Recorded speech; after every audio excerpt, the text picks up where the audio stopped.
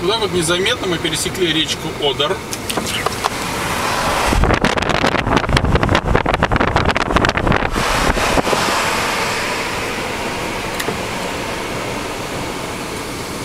Вот она там, где мы сейчас показали. И попали в Польскую республику. Мы в Польше. Еще одна страна за это путешествие. Вернее, мы уже были в Польше, но мы сейчас, скажем так, опять попадаем в Польшу. Ну и насколько мы себе представляем, сейчас начнутся польские дороги. Неторопливо, обстоятельно. Со средней скоростью в 60 км в час мы поползем в сторону Кракова. С дорог Польши, фотодороги.ру Продолжаем путешествие.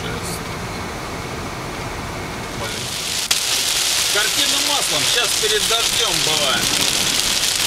Едем где-то и видим немножко быстрее, чем нужно. И с вот такой автобусной остановки, как черт из табакерки, высказывает полицай с палкой видит наш номер, махает рукой, улыбается и прыгает опять в установку. Ну, видимо, мы что-то нарушили, но не сильное. Наверное, там было 40, а я ехал где-то 50. То ли они по опыту знают, что с русских штраф получить практически невозможно, то ли считают нас не имеющими смысла добычей. Пока он с нами будет разбираться, объяснять нам, куда какие злотые нести, у него целая пачка народу проедет. Да плюс еще дождик начал.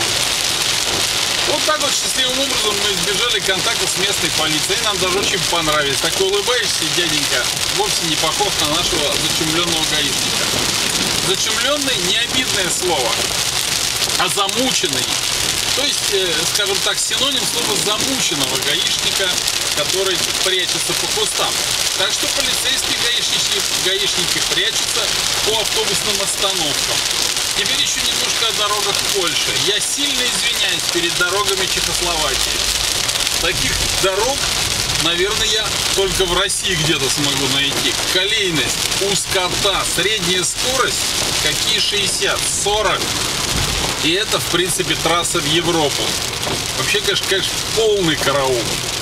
Желаем польскому народу срочно собрать денег и сделать автострады хотя бы в основных направлениях. Ну, имеется в виду наших основных.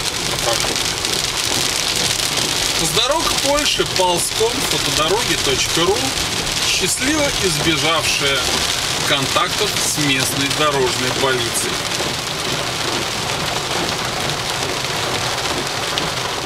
Ну вот и на нашей улице некий праздник. Мы попали на строительство, на отрезок пути, где строится современная автострада. Все же есть надежда, что в Польше будут хорошие дороги, и наши европейские путешествия перестанут носить здесь экстремальный характер.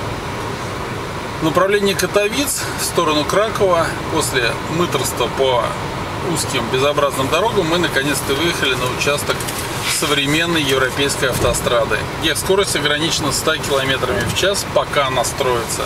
В дальнейшем наверняка будет более либеральная обстановка.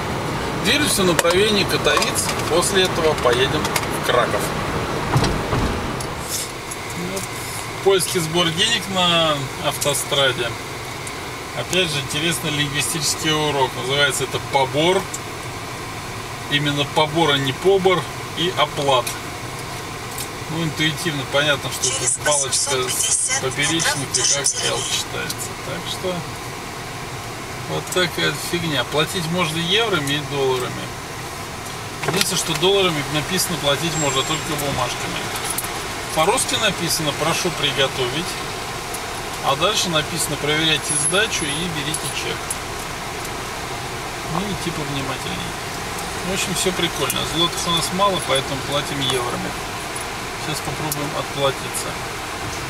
Если нам хватит того, что у нас есть. Так, смотрим, сколько. 3 900 евро.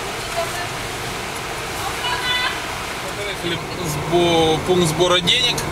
Единственный вопрос, который тут вызывает проблема, они не могут брать э, в случае евро или долларов металл. 15 Они могут брать только бумажные банкноты. С чем это связано, непонятно. возможно, чтобы железо не расходилось по несвойственным им путям. Но у нас есть мелкие евро, и поэтому мы беспрепятственно прошли этот проход. Сдачу дают в злотах, что тоже для нас полезно, потому что сейчас в Кракове нам нужно будет где-то пристроить машину, а автоматы на парковках, как правило, требуют металлические деньги. Монеты. Продолжается наше путешествие. До Кракова осталось около 20 километров. И мы наслаждаемся движением по автобану, едем в Краков.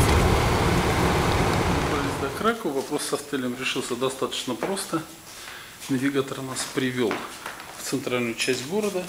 И здесь в пяти минутах ходьбы от основных исторических мест нашелся вот такой приятный отельчик. И мы в нем заселились. Машина стоит во дворе, а мы идем гулять, пока еще есть свет. Вот наш отель с улицы, название него Фортуна. Ну, это обнадеживает. Нам сегодня должно повезти увидеть что-то интересное. Итак, мы в городе Кракове. Идем смотреть достопримечательности.